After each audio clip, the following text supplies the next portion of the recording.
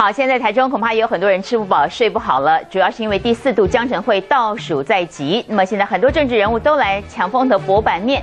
那么最敏感的旗帜之争呢？没想到是被这个国民党籍的市议员拔得头筹。他是赖顺仁，抢先悬挂了一个大大的国旗，在距离两岸会晤的饭店不到一百公尺，悬挂这个地点也挑过了，正是陈云林车队的必经之地，务必要让陈云林看得到。连斗空屋外墙，只见工人在钢架上爬上爬下挂帆布，引起路人好奇围观。不过这块布纠结在一起，却看不出来色泽和图腾到底是什么。答案揭晓，这面墙上悬挂两层楼高的巨型帆布，就是青天白日满地红的国旗。路过的民众纷纷抬起头看了看，还比出了大拇指。他来我们这边开会，但我们那个还是要象征我们的祖先。哦，这样才是应该对的。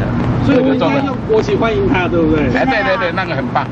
正当各界为了旗帜问题吵不停，市议员干脆筹来五万元做国旗，甚至看板一租就是三个月。国旗还挂在距离江城会会务饭店不到一百公尺的地方，直捣敏感神经。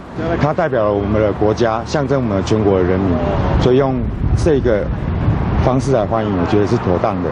赖顺仁本身也是国民党籍的台中市议员，但他却一点都不担心巨型的国旗高高挂会引来党内外更多的杂音。哦，没有针对任何人。如果陈云来，当然我们这次是陈云来，我们这个方式欢迎。下一次如果是从非洲来的。我们也是这样子欢迎。江春会在即，蓝营市议员毫无避重就轻重口味挂国旗，只为了消弭争议。但就不知道陈云林一来，经过这里看到这面国旗作何感想？中央新闻韩志庆、张俊栋台中采访报道。